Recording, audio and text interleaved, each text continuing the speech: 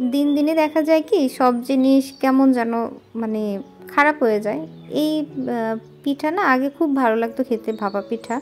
এর মধ্যে অনেক কিছু দিত। আর এখন আর কিছুই দেয় না। শুধু ওই একটু কিশমিশ দিল আর ওই যেরকম দেয় আর কি। কিন্তু নিল হচ্ছে কত যেন ষাট টাকা নিল। তো যাই হোক, কি আর করা যাবে? দাম কিন্তু বেড়েছে, কিন্তু জিনিসপত্র আর দেয় না। আগে ওই হাবিজাবি অনেক কিছুই দিত দেখতাম। আর এই তো এখানে বাজার করে নিয়ে আসলো।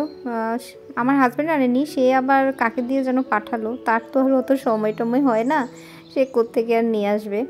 তো যেহেতু কালকে আমার কাকু আসবে, তো সেই জন্যই আর কি। তবুও এখানে সব বাজার হয়নি এখনও মাছ টাছ কেনা হয়নি। মানে আমার কাকু হচ্ছে ছোটো মাছ খেতে বেশি পছন্দ করে, তো সেগুলোই কিনা হয়নি। যেগুলো আর কি মুরগি আর মাংস পাঠালো আর কি।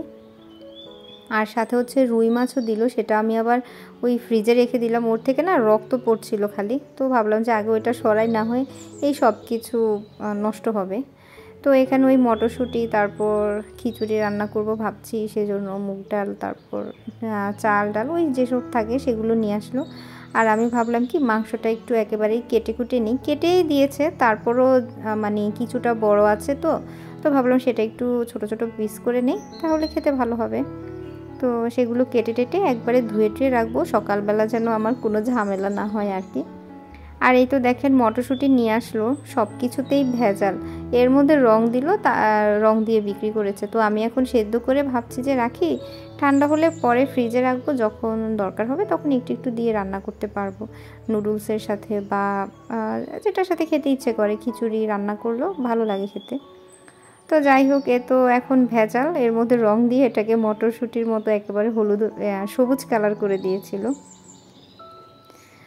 তো কি আর করা যাবে? আসলে ভেজালের দুনিয়াতে আছি তো, এখানে তো এমন হবে। আর এই যে পিঠাটা আমি খেয়ে শেষ করতে পারিনি, কেন কি খেতে না একটু ভালো ছিল না। তো ভাবলাম কি একটু কাজ টাজ করে মাংস টাংস সব ঠিকঠাক করে রাখি, তারপরে আবার বাকিটা খাব।